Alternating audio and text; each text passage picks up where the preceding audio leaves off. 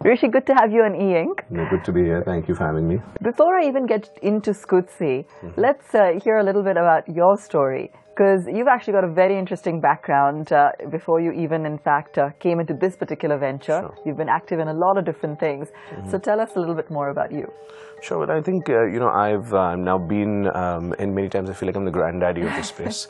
so I started off my first company in '97. Mm. Uh, there was a digital media company called UrbanEye. Mm-hmm. Uh, sold it to the Network 18 group in 2006, and basically took on the role of CEO for for the Web 18 division mm. of uh, Network 18. We ran the digital division for the Times Group for a bit. In about 2012, the timing was right to start up all all over again. And you know, uh, I think for me, the one of the the learnings was that to really succeed in in a startup space, you have to unlearn a lot of things that happens in the corporate world. And there were people like me who were at the height of their career, mm who wanted to start up but you know didn't have the risk appetite to do it because of various things. Mm. And um, if if I could have created a common platform where I could bring these people together, uh, help with the execution. So uh, the first six months of, of our startup life was spent in creating almost like a Swiss Army knife right. of technology, so that technology doesn't take time. Um, yeah. We then created a really interesting bench of entrepreneurs and you know who, who came from different industries. So you come up with a new idea, you don't have to really scramble to find people to do it. You have it within the okay. the, in the, okay. the platform. So this was at AntFarm. This is AntFarm. And uh, that's, of course, um, your company where you've now got holdings in, in various different startups. Sure. So, okay. so AntFarm is um, started off by being a holding company mm. for interesting ideas. The biggest differentiator from, say, a typical incubator, mm. accelerator in us is that we're a studio incubator. Okay. Um, we don't scout out for people with ideas. You know, most of our ideas are homegrown. And once we identify an idea, that's when we really hit the ground ground running. So tell us how Scootsy happened. Uh, uh, you came up with the idea. Sure. I think um, perhaps having seen similar things in other markets or, or understanding that there was a need for it uh, here. Yeah. But how did you actually get into it? So I think when I started AntFarm, the goal was to actually work on multiple ideas at one point. And I realized that, you know, in, in the space and the day where we are, if you're not focusing on, on one or two projects, um, you're going to lose the, the entire game. So me uh, and my co-founder Sandeep Das, you know, we were looking at, at this hyper-local space and we were looking at what was happening out there. And we felt it was an opportunity to create a single single app. Yeah? If you look at your phone today, you know, you, you may have multiple pages uh, of apps that you've downloaded and tried, but the apps that you go back to are going to be the ones that are on your home screen, mm. right? So you're fighting, you're scrambling for space on that home screen. And we said that if we can create a single app where you have the promise and you're able to deliver mm. uh, on the promise of getting something to someone instantly, mm. so instant gratification is the differentiator, then you can probably have multiple verticals, multiple categories that you put on and be the single app to deliver anything a person wants when we looked at the space, you had food aggregators out there, right? And um, but most of the food aggregators had taken a very different path. So they were aggregators at that point. Yeah. Um, that means the last mile, the logistics mm. was still managed by a restaurant. So once an order came in, it was passed on to a restaurant. Right. Um, now that is almost uh, like saying, you know, I'll take the order from you, but then post that it's a black hole. Mm. So there's absolutely no control over the last mile experience. There's no visibility to yeah. the consumer. So the opportunity was to create a full stack company, okay. something that innovated on the discovery side of things, mm. where we understood who an individual was and were, were, able to upsell them more. And then basically work with the restaurants to ensure that you know we were assisting with the way packaging is done, uh, food was deconstructed in a certain way, and then obviously the last mile where we reach out, we reach the product to the consumer mm. or the food to the consumer, and it comes to them intact. You know, hot food needs to be hot, cold food needs to be cold. Um, in the initial phase, you know, um, I think for us it was important to win the supply side, mm-hmm. and um, a, a, lot of the fine dining restaurants, mm-hmm. uh, especially the ones you know where you have these Michelin-hatted mm-hmm. chefs or these people who aspire to be Michelin-hatted chefs, the way food travels becomes an important part of it, right? You know, you when you're paying top dollar in a restaurant, um, you're, you're paying for the presentation, you're paying for the ambience. And when you get it home, if there's, you know, if say the food spilled or, or it doesn't taste the yeah. same, you're going to think that it's the restaurant's quality that suffers. So for the, for a lot of the chefs, the pain point was we can't work with the with the regular aggregators because they don't understand how food should travel. So for us, the initial phase was Yeah. getting food to be transported the right way, and um, getting the supply side right by working with these high-end chefs and dine-in restaurants that hadn't explored dine-out as an option so far. So, does that mean your clientele also varies from some of the other aggregators?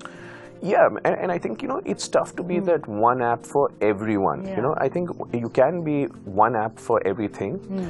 but uh, you know the the way your messaging is, the tonality of it, the way the app looks, the kind of um, the listings you have. Hmm. So for us, we took a very conscious call to say let's take quality versus quantity. Okay. Yeah, Okay. and uh, so on the demand side, and this is why you know when we got the supply side right, a lot of these restaurants tend to have their own own clientele that gravitate towards the brand.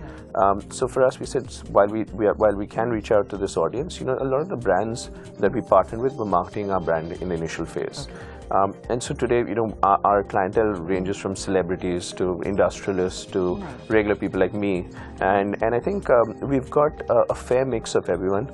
Um, in um, if you if you were to take um, Mumbai and take South Mumbai to Bandra, you know, I think we've got the the most diverse and, and most interesting set of people that you would never imagine would even, you know, start up an app and, and use our platform. They're ordering from us a couple of times a day. So, a lot of questions, uh, as always, about a startup that's managing to contain itself rather than trying to Yeah. expand at, a, at, at a Sure. Mm-hmm. super rapid pace. Um, how do you respond to that? You know, I think scale as a word is overrated. Yeah, I- think um, it's it's a tool that a lot of investors use to figure out, you know, whether they're going to invest in a company or not. Um, scale is something you achieve post having your basic standard operating processes and procedures in place. And a lot of companies today have scaled prematurely. Okay. That means you get if you raise money quickly, you're expected to. The benchmark is valuation rather than profitability or getting your unit economics right or getting your advantage, sustainable advantage right. So we always felt that with 22 million people in just Mumbai, this is a large enough market itself, right? And if we can build a sustainable advantage in this city, that means become Mumbai's only app or Mumbai's app uh, by um, having anchor brands in every category that we have, uh, there's value enough to be unlocked from the city, right? Right. Uh, even if you're looking at 10% of that, that's about 2 million addressable market size. Um, and uh, I think now that we've reached a certain certain um, uh, stage, uh, we are looking at expansion, but we're going to do it again in a very staggered manner. Um, our, our plan for the next city is to actually have a local CEO out there too, who gets the market, has the right connections, is able to make it the city's app. You know, it has to be the city's app. We're not going to take a one-size-fits-all approach to, to launching in, in other markets. What would be the next city? Um, we are looking at Delhi as the next city, and we're looking at Dubai as the next the city. Dubai. So you're Yeah. planning already to go Yeah, uh, abroad. Jump the pond. I think the, the, the market opportunity is um, pretty incredible. We have um, we're in the works of signing with uh, a large local player out there Okay. that would help us with our local presence and whatever else we're doing. We have an app today where people came in um, for food and are now using it for everything from uh, getting organic vegetables to getting the fish or the meat from a butcher shop Yeah. to even organic milk. So how much is food still as an overall percentage? Um, when we first started, uh, the mix was 80-20. Today we're at about 65-35. Okay. Uh, at a steady state, we expect food to still be 50% of our overall Yeah. uh, mix. Um, food is, by its nature, you know, you're, Mm-hmm. you're used to ordering something on demand, right? And, and, you know, the aggregators that have been there for the longest time, or even, you know, say the pizza delivery companies, they're used to picking up the phone or, or placing an order through the app and it comes to you. So there's no behavior change required with a lot of the other categories. So getting a book or you know buying a toy or getting a dress in time for for the weekend it requires a behavior change. Yeah. the consumer doesn't know how good it is to have it instantly because they haven't sampled it as yet. And the fact that we're able to now build um, on our catalog across various um, say verticals and in each of them have anchor brands that people would normally buy uh, I think we- we're seeing more and more people saying, "Wow, you know, now that I've I've actually bought something and I've got it, and uh, I can't go back to my traditional way of shopping." Okay. So I think while food started off with it being the low-hanging fruit, um, we definitely feel that each category is ripe for disruption. And um, um, examples are in the West. If you look at Amazon Prime, which Yeah, is which is which is same-day delivery, you know, yeah, it's disrupting, and, and, and, and people can't live without that. So our goal from the get-go was, you know, if online is cannibalizing a lot of the small retailers, a lot of the small medium businesses, then the only way they can kind of be at an advantage is by reaching out the consumer base that's nearest them and shortening the gap from you know from desire to delivery, Yeah. which is what we do. All right, on that note, let's take a very quick break. When we come back, uh, we'll dig in a little bit uh, into the back end, how it all works, how Scootsy manages uh, its efficiencies. Back with that in just a moment.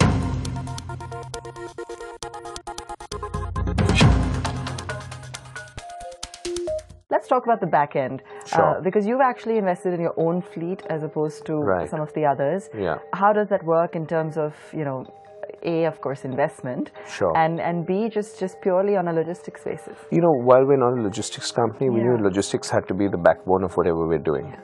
And uh, for us, innovation around logistics has been something that we've focused on from the get-go. If you look at our offering today, uh, we have the widest delivery uh, air radius. So uh, while a regular hyperlocal company would probably do a 3 km or 4 km radius, we get you food on a 12 km radius. That means Okay. if there's a restaurant that you like, say in say uh, Colaba, we'll actually deliver it to you all the way out here in Worli, right? Okay. So help me visualize this. If I Yeah. put in an order with Scootsy, Right. is there like a gentleman on a bike somewhere waiting so- to? so- so is there a center that's that's going to pick that up? Yeah, yeah, absolutely. So, so the minute you place your order on, Yeah. on the app, you know, that's when the magic starts. Yeah. If you're a regular customer, you're auto uh, confirmed. If it's your first time experience, then we tend to call you to confirm your address and, and various other things. Our goal is to not call you ever again to find out where you live. Okay. right? The order is then gone, it goes into the background Okay. uh, and into the back end where it's allocated uh, using an automated system Okay. that um, allocates it to the nearest rider Okay. that will be available post a prep time. So there's not like some garage or warehouse that these riders need to be. They're kind of No, so, floating. so, so uh, we actually um, have historic Yeah. information on uh, on timings uh, and um, say order history, etc. So we have almost like a heat map of when orders are going to be at uh, are going to spike. So we've actually got hubs. We do have hubs. The hubs are largely for, for collection of cash, you know, because if riders are collecting cash, they need to kind of deposit us, yeah. But otherwise, you know, we have people on the street, um, and they have allocated Hmm. Oh, cool. locations, Yeah. so that they know that Yeah. you know, yeah, say there's a restaurant that gets a spike of like Yeah. 30, 40 orders at a certain time, especially during dinner, they need to be close by, and uh, we we take in different prep times. So certain restaurants, especially QSRs, don't need more than five ten Mm. minutes to to prep food. But the minute you go to a fine dine restaurant. You know, it ranges from 20 minutes to 35 minutes, and especially if you're talking about a restaurant Mm. that has, um, you know, a, a huge inflow of dine-in customers Yeah. on the weekends that tends to happen now at that time the challenge is you know we can't drop our promise of delivering in 60 minutes Right. and the consumer you know is unforgiving so we ensure that where there's an expediter at most of the high-end restaurants that is closely tied into us Okay. um, the minute the food's picked up you know a rider's there and then he has the best route to the consumer Okay. um, typical transit time because it's bikes regardless of how, how much traffic it is is about 20 minutes to 25 minutes yeah. So when you started, I mean, what's the kind of investment that you put in? You also um, picked up from where Meals on Wheels left off. Sure. So you had at least an existing base, uh, Right. you know, to start off with. yeah I mean, how much have you um, added to that? What's Sure. the kind of metrics you're looking at now? Right. Um, you know, will the scale that, that will naturally come, even if it's not something you're pushing, No, yeah. need additional funding? Yeah, it, it does. You know, um, and um, has adequate funding Yeah. at the holding co level, but we still are we, we drip feed our businesses as and when they're required, right? So the Meals and Meals acquisition um, was great for us to understand how technology can really change the whole logistics space and and how we can improve efficiencies. Uh, but when we acquired Meals on Wheels, they had 17 riders, right? Okay. We're, we're close to 500 riders today. So, you know, there's been a sea change in various things. Yeah. Um, and the goal was, you know, obviously mm. with the relationships that he had cultivated over a period of time, uh, capitalize on that. Can you show additional value? Can you understand what was not working for that business? So even though, you know, it was a business that had been in the space for the longest period yeah. of time, I think technology wasn't something that ever adapted or adopted to take that the next leap. And I think that was yeah. the whole motivation mm -hmm. to actually go out and get Sunil on board. Uh, Sunil is the co-founder of Meals on Wheels. He's done a great yeah. job of building that brand. You know, I think the consumer needed a younger, peppier mm. brand. The and name, that image comes that through. image comes through yeah. with, with the word yeah. Yeah. Um, we wanted, uh, like I said, food had to be the first category because that's where the opportunity was. So it was interesting. I think, um, you know, a lot of things we have done today or we haven't done today are learnings from that acquisition. Right. So, you know, I think it was probably a really sound uh, mm -hmm. acquisition. It helped us get off the yeah. ground faster and it helped us, you know, be in the radar of customers, like you said, who, who've been using the app for the longest mm -hmm. time, who welcomed the change when we moved to Scootsy. I was just trying to understand how, how much investment a business like this would take you know, so um, it depends on how you build a business. Right. If, you, if you're going to build a business and um, come out all guns blazing with marketing and, and above the line marketing, um, you're going to probably burn a lot of money. Mm. Uh, we did a few things right. We said we're not going to ever discount. So we're, we're, we're never going to be an app that gives you food um, at a certain price that's less than what you can pay in a restaurant yeah. because then you're going to keep feeding that, right? There's so many people constantly wonder how you make money when I, I order a Starbucks coffee and yeah. it's 150 bucks. Right. Um, the, the, margins, I mean. yeah, so, so you need to look at it from, uh, yeah. and it's something we call lifetime value of mm -hmm. a mm-hmm. customer, right? So, mm -hmm. you know, for us, we dropped the minimum order price. Yeah. Um, initially, when we first acquired Meals Meals, it was a 500 rupee minimum order and we said, okay, let's drop the minimum order price. Yeah. Not because it's not working, it's because when you create these false barrier to entry, mm. people tend to switch off and say, I don't want to, I don't right. want to, yeah. even though I would probably spend more than that. So on the day we dropped it, we, we saw a spike of 2x in orders. Wow. But what happened was the average order value did not drop. Okay. Right? Okay. So that's the, interesting. So it's a mindset. It's a mindset. So and yeah. and I think yeah. putting things like delivery fees and putting stuff like minimum orders mm. are a barrier to people who are anyway spent. They just yeah. don't like to to have conditions, preconditions mm. to what they're doing. And also, I think for us, we've seen that while you may order Starbucks coffee, you'll follow it up, you know, in the same day by ordering a thousand rupee meal. Okay. Uh, today, um, why our unit economics work for us is because of the quality of our supply yeah. and the quality of our audience, right? So our average order value is 900 rupees. Mm. Um, the competition is somewhere in the 300 to 350 range. So we are at 900 and we're, we're constantly working on keeping it there. Okay. Um, our take rate is highest in the industry. Mm. And we've been growing organically at a 30% month on month rate. Okay. So for us, I think one of the, mm. when we were looking at marketing this or getting ourselves in into yeah. uh, becoming a, a more of a regular use app, we said, how do we kind of break through the clutter mm. that was out there? And, and, so it was interestingly by uh, our riders wearing orange pants and having these really cool orange helmets that, yeah. that were driving around the street in the initial initial few months. Even yeah. if they didn't have anything to, to, to, deliver, they were very visible. Okay.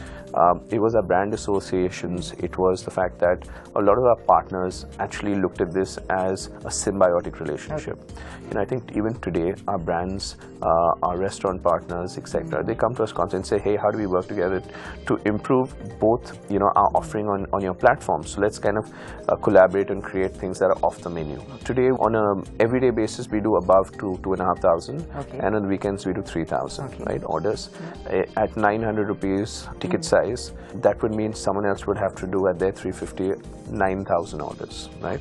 Yeah. In terms of revenue, I would say we're the largest in Mumbai.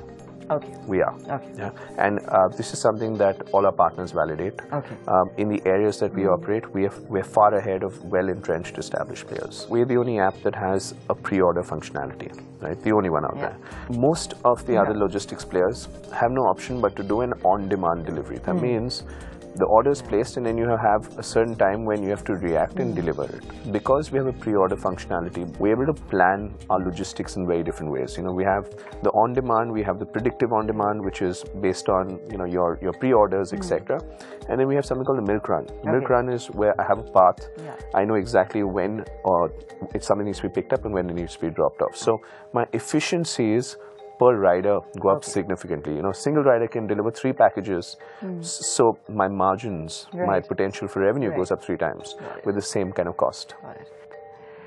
We're in conversation with Rishi Khiani, finding out all about uh, Scootsy and its journey so far. We'll be back in just a moment.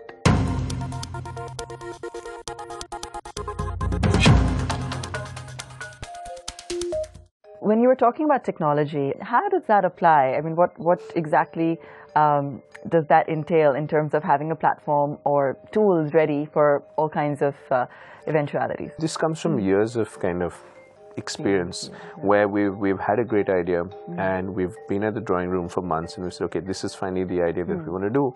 And then technology always is the bottleneck because you need to then spend some time specking it out and getting the right tech people in place and then building it out.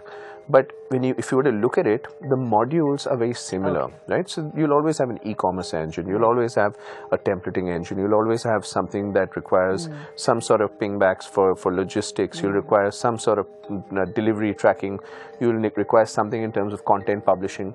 So the requirements are all similar. So we say let's mod- make it a module, right? Let's let's take each of these modules and create it for uh, being adaptable to whatever design. So when you come up with an idea, you know, typically your gestation period, your the period of execution can last from anywhere from a couple of months to six months, right? Uh, we can actually launch an idea in 21 days. So Wow. yeah.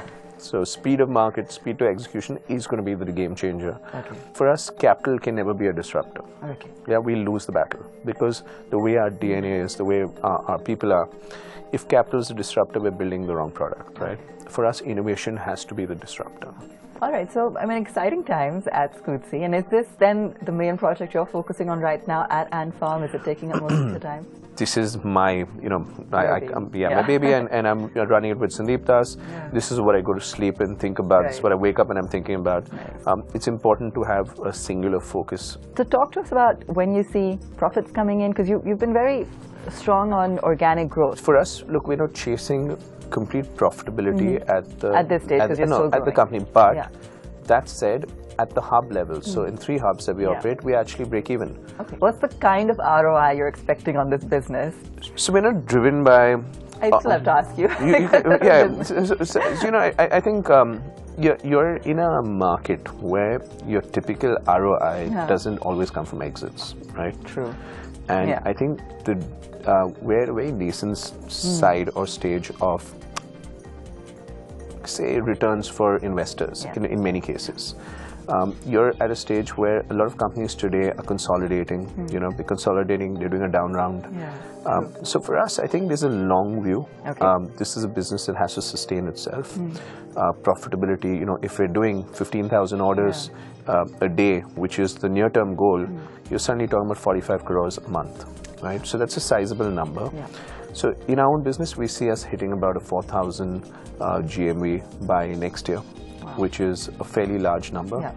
Um, and um, we're constantly working on improving our gross margin. Okay. Um, so while we start with obviously the traditional business, which is the commission business, today we- we're incubating a lot of small medium businesses onto our platform. Okay. We're enabling them, Right. uh, and because of that, our margins improve. Okay. We're also um, co-creating virtual brands with restaurants Okay. that are exclusive on our platform, where again the GMV goes higher. This is a business, according to me, that in the long run, you know, has an opportunity of of, of being a market leader. E-commerce, your your regular e-commerce is also ripe for disruption. You know, I mean, if I get a book in in 30 minutes to an hour, why would I go with a two-day delivery time? We've, we're running um, now something for the new Harry Potter book. Okay. You know, that's just Yeah, that's yeah. coming out, and there are people who don't even want to wait a day for the book. So while you have your Amazons and all that that do have the listing, the delivery will happen on the second or the fourth. Yeah. So this was an opportunity for us to get you the book. So we, we actually we, we have a sign up on our on Right. our app, and we can get you the book right from midnight of the of 30th, uh, so 31st, early morning, right up to 12 o'clock in the noon. Oh, and cool. we've got Yeah. thousands of sign-ups, and you know it's a great way to showcase the the whole notion of instant gratification, how we can get it for you, and even ours matter. Fantastic. Rishi, great speaking to you today. Thank Thanks you. so much for joining Thanks so us. much.